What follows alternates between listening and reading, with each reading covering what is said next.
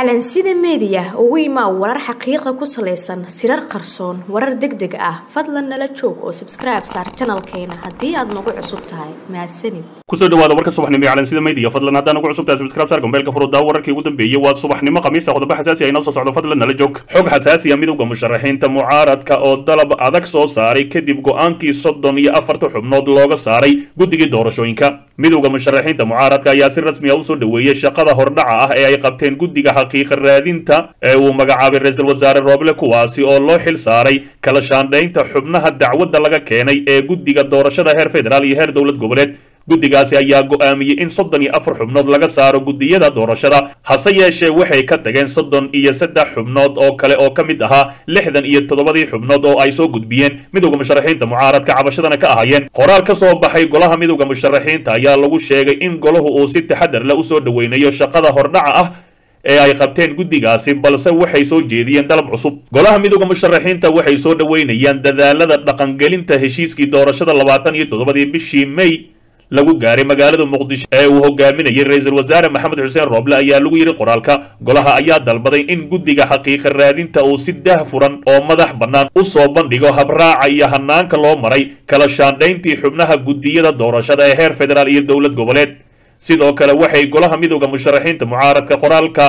ku dalbadeen in magacaabista xubnaha cusub ee guddiyada doorashada ay noqdaan kuwa loo maray habraac iyo hanaan daah furan oo ku salaysan heshiisyadii doorashada qaranka. Waxay arrintaas dalbashadeeda ku sababeeyeen si looga hortago in mar kale ay guddiyada doorashada ka mid noqdaan xubno ka tirsan shaqaalaha rayidka ah ee dowladda ciidamada iyo xubno taageero u ah madaxweynaha wakhtigiisa dhammaada farmaajo iyo ragga ka tirsan ciidamada nisa dhinaca kale wasiirka qorshaynta dowlad goboleedka jubbaland mudane mursal khaliif oo ka qayb galay dood gaar ah ayaa ka hadlay arrimaha ciidamada soomaaliya ee la sheegay in laga qaybgeliyay dagaalkii ka dhacay waqooyiga etoobiya gaar ahaan gobolka tigrey isagoo caddeeyey mowqifka jubbaland ee ku aadan arrintaasi. Mursal ayaa marka hore wax laga xumaado ku tilmaamay in askar soomaaliyeed oo loo qaaday in loo soo tababaro qaranka soomaaliyeed la geeyey dagaal ka socday dal kale oo shisheeye. Sidoo kale wuxuu tilmaamay in kiiskani uu yahay mid caalami ah islamarkaasina loo baahan yahay in ciddii daabushay ciidamadaasi la horgeeyo. Maxkamad caalami ah ayuu yidhi qof kasta oo mas'uul ka ahaa in askarta loo daabulo tigrey waa in uu cadaaladda ku wajahaa maxkamad caalami ah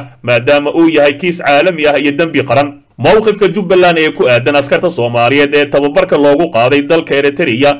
ayaa ku soo aadaya xilli warbixin ka soo baxday guddiga xuquuqul aadanaha ee qaramada midoobay lagu sheegay in askar soomaali ah la geeyay gobolka tigrey kadib markii uu dagaal culus ka qarxay bishii nofembar ee sannadkii la soo dhaafay ee laba kun iyo labaatanka dhanka kale ilaa iyo hadda ma jiro wax hadal ahi ama jawaab ahi oo ka soo baxay dhinaca dowladda federaalk ee soomaaliya oo ku aadan arrimaha ciidamadaasi. Arrintani ayaa uga sii daraysa walaaca ay qabaan waalidiinta soomaaliyeed ee carruurtooda tababarka loogu qaaday dalkaas eritreya kuwaas oo marar badan dibadbaxyo cabasho ahi ka dhigay magaalada muqdisho si ay war uga helaan wiilashoodii tababarka loogu qaaday. Hase ahaatee manaxaha madaxweynaha wakhtigiisa dhammaada farmaajo ilaa iminka ma caddaynin ilmahaasi halka ay jiraan hase ahaatee waalidiin ayaa maalin kasta ku bannaan baxo filla soomaaliya horteeda iyo warbaahinta. Dhinaca kale madaxweynaha puntland oo la kulmay wafdi ka socda beesha caalamka. Madaxweynaha puntland siciid cabdulaahi dani ayaa qasriga cusub ee madaxtooyada garowe ku qaabilay wafdi ka socda beesha caalamka uu hogaaminayo ergega qaramada midoobe u qaabilsan soomaaliya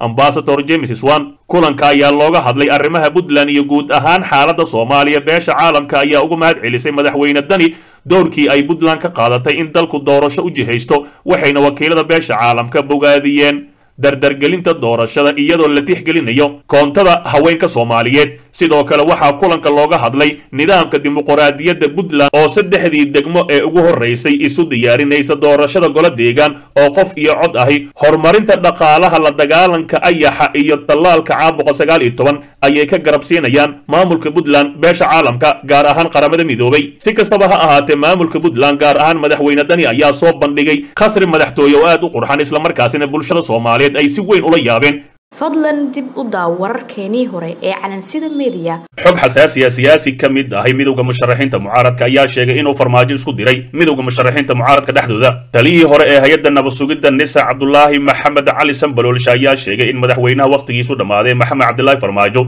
uu ka shaqaynayay inay dhexdooda isku soo jeestaan xubnihii mucaaradka ahaa ee sida wadajirka ah uga soo hor jeestay nidaamkii farmaajo ee kale taliska ahaa sambaloolshe oo ka mid ahay midowda musharaxiinta mucaaradka gaar ahaan xisbiga xasan sheekh maxamuud ayaa arrintaasi ku eedeeyay farmaajo. Sambaloolshe oo la hadlayay telefishinka universal ayaa sheegay in xubnaha mucaaradka ay noqdeen jabhado aakhritaankii dhexdooda isku soo jeestay isagoo madaxweynaha wakhtigiisa dhammaada farmaajo ku eedeeyey inuu aamusnaan ku kala qaybinayo mucaaradka waxa uu yidhi yaxaaska markii uu webiga biyo beelo dhulka ayuu galaa wuu isduugaa markii uu roob yimaadana waa uu soo baxaa hadda farmaajo waa ismaskiininayaa waa isduugayaa wuxuu isku dayayaa in uu iska dhigo nin maxmiyad iyo maskiin ah ragga ay iska soo horjeedaan ay istusayaan waxaa isku soo haray in ay ayaga tahay oo ay ayaga isku soo jeestaan ayuu yidhi sambalolshe taliyihii hore nisa ayaa sheegay in madaxweynaha wakhtigu ka dhammaaday maxamed cabdilaahi farmaajo uusan haysan fursad labaad oo uu mar kale ku noqdo madaxweynaha soomaaliya. Siduu hadalka u dhigay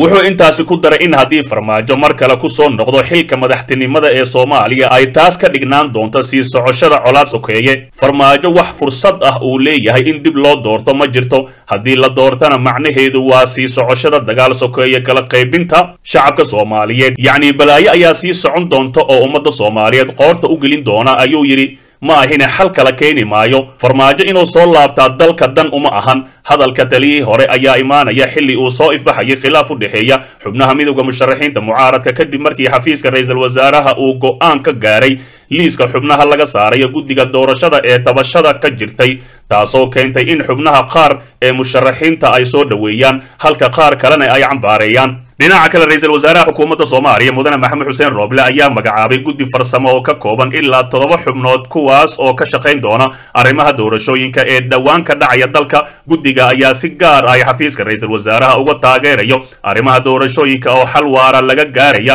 kadib dadaallo uu sameeyey rooble sidoo kale guddiga wuxuu la shaqayn doonaa isku xirka dhammaan howlaha doorashooyinka ee hay'adaha ku shaqada leh gaar ahaan beesha caalamka golaha wadatashiga qaran iyo guddiyada kale ee doorashooyinka ee heer federaal iyo heer dowlad goboleed. Toddoba xubnood ee la magacaabay sidoo kale laba ka mid ahi waa gabdho halka shan kalena ay yihiin rag. Wareegtada ka soo baxday xafiiska ra'iisul wasaare maxamed xuseen rooble ayaa sidoo kale lagu faray guddigani inuu guto waajibaadkooda loo igmaday maadaama la gudagalayo doorashada qaranka soomaaliya ayaa haatan gelaysa doorasho isku jirto tan baarlamaanka iyo midda madaxweynaha taasi oo laga gaaray heshiis kadib kulamo siyaasadeed oo uu garwadeyn ka ahaa maxamed xuseen rooble oo ka dhacay magaalada muqdisho caasimadda soomaaliya dhinaca kale ciidanka xoogga dalka qaybta labaatan iyo toddobaad ayaa howlgal ballaaran oo ka dhan ah ururka al-shabaab. Waxaa saacadihii la soo dhaafay ay ka fuliyeen deegaano ka tirsan gobolka hiiraan. Deegaanada howlgalka xooggan laga fuliyey ayaa waxaa ka mid ahay aboorey beero yabaal wariirey galboocaale ilaa iyo sooman kuwaas oo dhammaantood hoos taga degmada buulaburta ee gobolka hiiraan. Howlgalka ayaa qayb ka ahaa howlgalka sida guud ee uu ciidanka xoogga dalka uga wada hirshabeelle kaas oo al-shabaab lagu doonayo in looga saaro deegaanada ay kaga sugan yihiin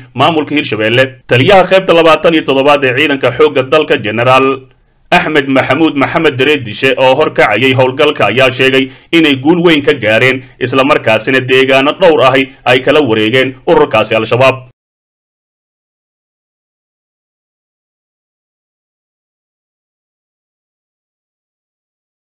Dhegaystow ogow haddaadan xalka qayb ka noqon waxaad qayb ka tahay dhibaatada dalka